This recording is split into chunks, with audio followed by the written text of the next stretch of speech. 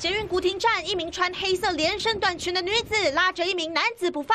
男子不理会，一下往右走，一下又往左走，女子气到揪衣领，半拖半拉。这时有民众见状赶来帮忙，站务人员也冲上前，一伙人将男子团团包围。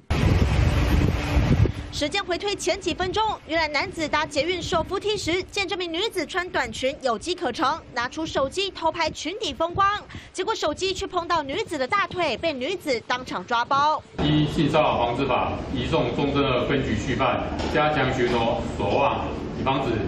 类三件发生。男子看准捷运手扶梯拥挤，利用高低落差这点，站在女性后方当起偷拍狼。女子也不是省油的灯，吃了亏，怒揪衣领，报警送办，加倍奉还。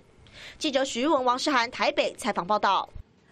我是李一璇，主播工作对我来说是一秒都不能松懈的战场，将撼动社会大众关心的议题清楚传达出来，更要求自己先是一名认真的记者，才是对观众负责的主播。更多新闻请锁定中视 YouTube 频道，记得按赞、订阅、分享，并开启小铃铛哦。